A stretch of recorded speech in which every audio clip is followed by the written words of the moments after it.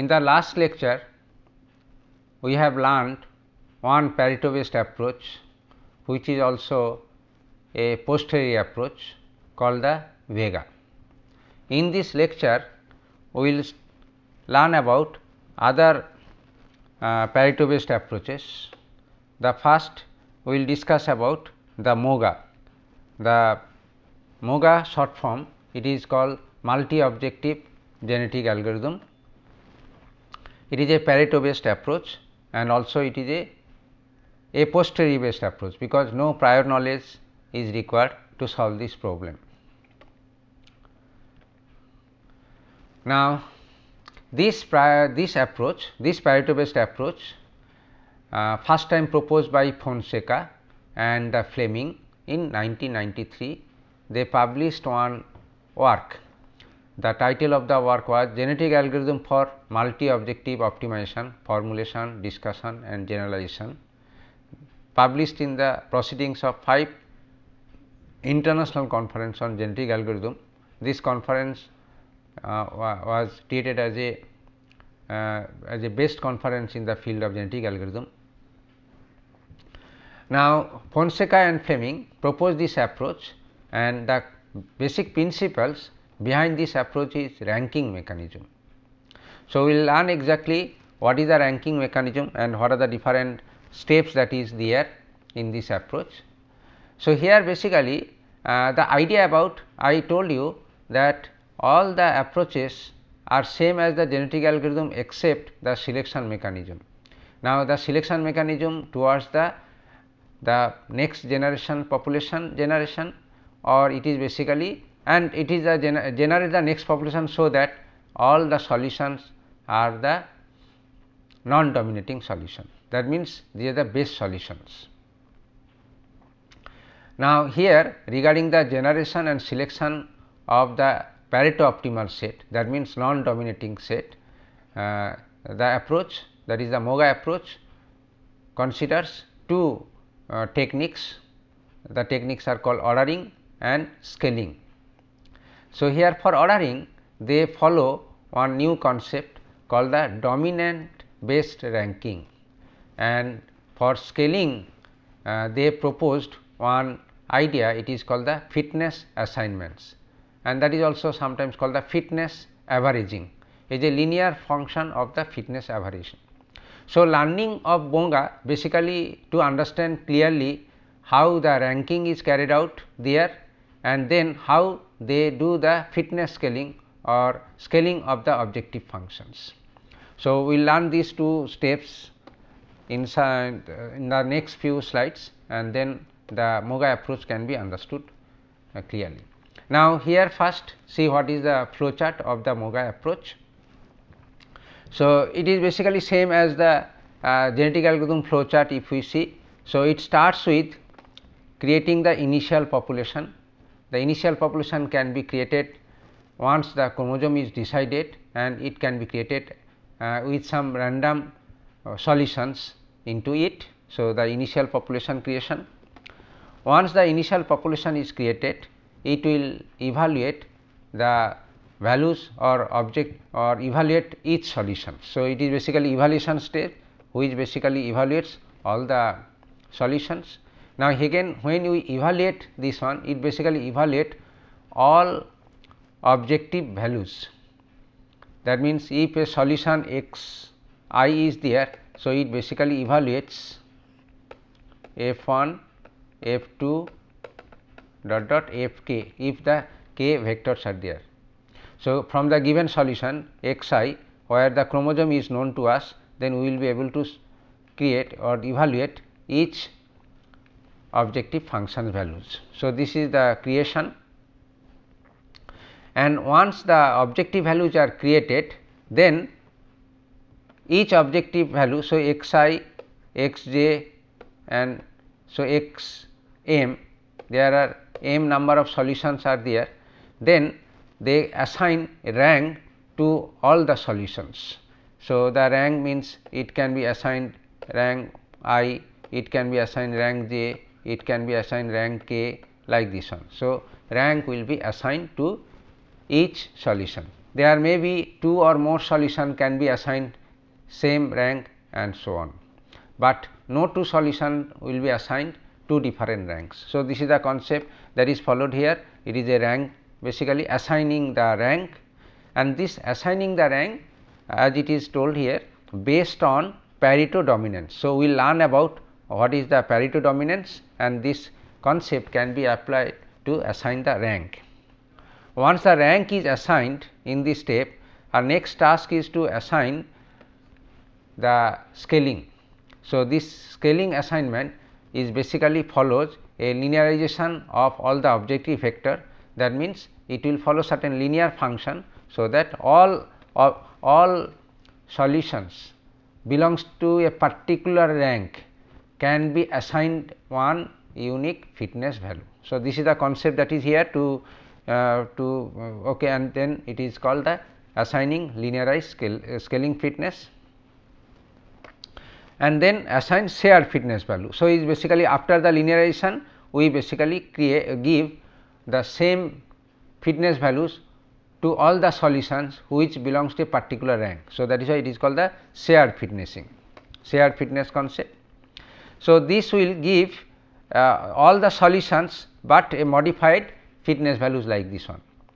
Then the solution that we have we have to undergo certain convergence test and if they pass the convergence test then all the solutions that we will be obtained are returned as a Pareto optimal solution and if it is failed the convergence test is not successful then we will go for the selection.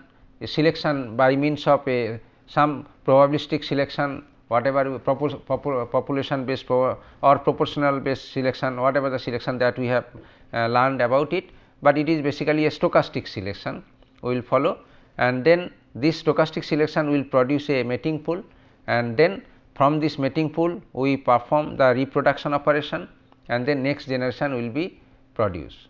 So, this this will be repeated again and the cycle will be continue to to till the convergence test is convergence criteria is met.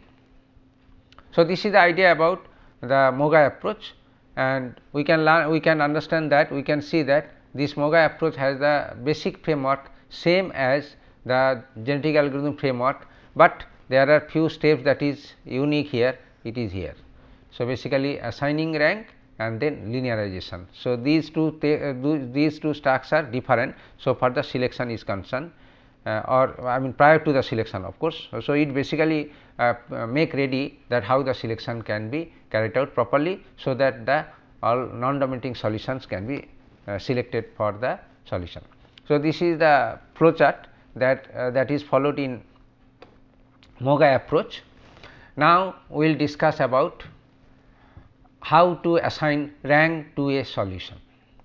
So, rank of a solution. Now, here in this MOGA approach uh, they proposed one criteria or one concept like the they told that they assigned a rank like this they, the rank of a certain individual corresponding to the number of chromosomes in the current population by which it is it is dominated. So, this is the concept that means if a solution is dominated by say n number of solutions, then we can assign the rank accordingly. That means uh, is proportional to n like.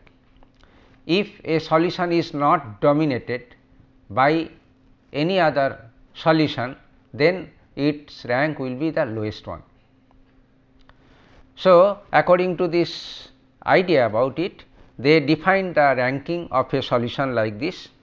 If a solution x i is dominated by p i number of individuals in the current generation, then the rank of x i is 1 plus p i. So, this way we can easily understand that the rank of the solution which is not dominated by anyone is the lowest and the lowest rank is 1. So, this is the formal specification by which rank of a solution can be assigned Now, let us illustrate the concept with uh, uh, some examples. Now, say suppose this is the at any instant the solution space and we want to assign rank of any solution let it be x i. Now, if this is the solution and this is the two objective optimization problem and f 1 and f 2 are both to be minimized, then with respect to x i these are the subset of the solution which we can obtain solution which uh, we can denote it as a capital X i and we see that these are the subset of solutions is in fact dominates x i or we can say x i is dominated by all these solution. Now, how many solutions by which the x i is dominated? Let it be x i is a size. Then rank of this solution x i it is denoted as rank x i is 1 plus the number of solution which is there in this region. Now, we can note that all the solution whatever the this region are basically dominates the solution x i. So, so this is the concept by which the ranking can be assigned and we can do it writing a very simple program. So, it is not an issue. So, the idea it is like this.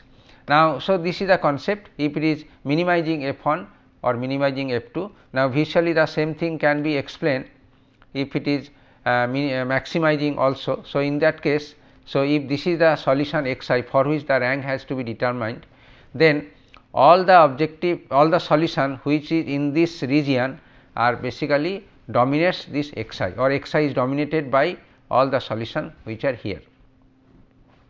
So, the rank will be accordingly the number of all the solutions in this region plus 1 that is the rank of x i. So, this is the concept it is there. Now, in this particular example as you can say this solution is dominated by 1, 2, 3, 4, 5, 6, 7, 8, 9, 10, 11. So, the rank is rank of this solution uh, x i is 12. So, this way it is uh, the, uh, the idea it is there. So, rank of these solutions can be obtained and can be assigned. So, this way rank of each and all the solutions can be assigned. Now, for an example this solution. Now, this solution is not dominated by any other solution. So, rank of this solution is 1. In other words, rank of all the solution which is lying on this front is rank 1. So, this solution you can say this is also nothing but the front is called the Pareto optimal front.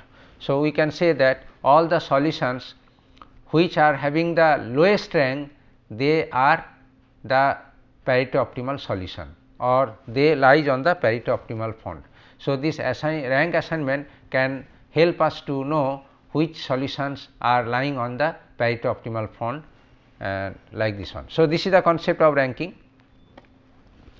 Now, another example that I can post it here, we can easily understand that it is both F uh, max F 1 on this one and if we say this solution we have discussed about uh, so, here basically all the solutions this is the one solution like all the solution and you can easily understand that how the rank of each solution for example, rank of these all these solutions are 1 1 because this solution and this solution only dominated by this one and so on. So, the rank of all the solutions can be obtained like this. So, rank of this solution it is like this and this one. So, the 2 and so on. So, rank of this solution also it can be calculated counting all the numbers here and then this one the next one. So, so rank can be calculated by this uh, simple method and uh, so the rank. So, this is the idea about ordering all the solution based on ranking. Now, on, once the ranking is known to us our next task is basically to linearize fitness. Now, again here ranking has certain physical interpretation. I just okay before going to uh, have the next discussion, uh, let us first discuss what is the interpretation. So, rank is basically domination count that means how many individuals does an individual dominates. So, this basically the interpretation that rank can and as I told you that all non dominated solutions are assigned rank 1 and the rank is higher that means they are inferior solution and that is basically a rank can be considered as a penalty by which this solution is dominated in the population. One solution having higher rank compared to the another solution that means it is dominated by more solution than the others. So, this is the interpretation of the concept of ranking here and then once the ranking is done our next task next task in the MOGA is basically fitness assignments. Now, for the fitness assignment the idea it is like this it uh, follows a few steps uh, three steps uh, as we mentioned here. The first step is to sort all the solutions in a current population according to their ascending order of the ranks. So, basically we sort all solutions based on their rank actually in ascending order. Then we assign the fitness to individual by interpreting the base rank to the worst rank like. So, worst rank may be as close as n if n is the number of population size. Then we assign all solutions okay all solutions belong to a particular rank in terms of a some linear function. We will discuss what exactly the linear function that it follows to uh, scalar uh, to linearize the uh, solutions uh, fitness values. It is basically is a linearization followed by averaging the fitness value. So, this is the main idea about fitness assignment to each solution. Now, let us understand this concept uh, with an example better we can follow some example and then we follow it. So, idea about uh, fitness assignment we I am discussing. So, idea is that the basic concept behind this or rationale behind this approach is that say suppose all these solutions are assigned one rank. Then basically the idea is that all the solutions which are assigned rank 1 should have only one fitness values like. That means, all solutions belong to a particular rank has the same fitness values. So, to do these things it first express all the objective into some linear function. Here the idea it is like this. So, linearization is like this it is basically linearizing all the solutions belongs to the ith rank we denoted that f i bar then for all the solutions which is there suppose it is the k number of vector objective functions are there then for with respect to each objective function we we we take the sum of all the objective functions divide, divided by the average objective functions. So, this way we can express a linear functions like this one. So, this can be like this. So, f 1 i plus f 2 i plus f 3 i plus dot dot dot plus f k i and divided by. Uh, so, it is basically so here uh, and f i j denotes the average value of the jth objectives of all the solution. So, it is basically uh, so it is basically uh, so the jth objective uh, if, if you say the uh, j j means f 1 plus f 2 plus dot dot dot dot f k and then this is the average value. So, this way it basically calculate the linearization of these objective functions. So, the once the linearization is done then the next step is basically to uh, assign the fitness value. So, so the, the assign, assigning the fitness value will be like this here these slides can help us to understand how it takes place. Now, first consider these are the solution which is having rank 1 and this is another solution another rank 2 on. So, there are group of solutions belongs to the different rank like. So, all the solutions belongs to one rank, all the solution belongs to another rank, all the solution belongs to another rank. And here the solution any solution belongs to this rank has the fitness value f 1 f 2 dot dot f n the fitness functions and we can express all the solutions that belongs to this one by means a linearized one. So, f 2 similarly for x 1 this is the f 1. So, it is called the linearization using the previous step that we have discussed. Once the linearization is done, then we can take the average values of all those. So, it is basically averaging. So, this way all solutions which belongs to a particular rank has a fitness value f 1. Similarly, all solutions which belongs to this rank has the fitness value f 2 and all solution belong to this rank has the fitness value f k. So, what we can understand is that all the solutions belongs to a particular rank has the one fitness value and another fitness value and this is another fitness value.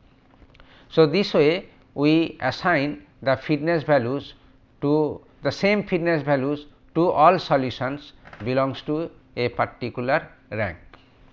That means, if you have if the solution has the same rank then they have the same fitness values.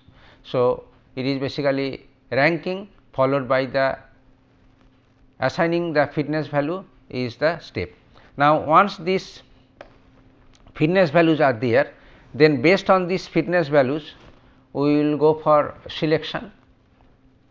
That means, uh, that selection can be any selection, uh, maybe say uh, proportionate based selection like say roulette selection or rank selection or in this case one a particular selection is called the stochastic selection. Stochastic selection just like a uh, proportional based selection, but it is basically random selection. It basically generates a random number and then in general in the range of the fitness values of there and then it basically selects uh, a particular solution based on the random number that is generated. So, it is a stochastic this one, but other than the stochastic also we can uh, follow any standard selection that is used in case of simple genetic algorithm also there. So, this selection will create a mating pool by from where the conventional reproduction method can be applied and then next generation can be obtained. So, this is the idea about uh, this MOGA approach here. Uh, so, this way it can uh, help to I mean have the dominant solution that means it always give more preference to the solutions which are basically uh, non dominating actually or dominated by lesser number of solutions. So, this way it searches to that, that direction which basically towards the uh, uh, optimal solutions.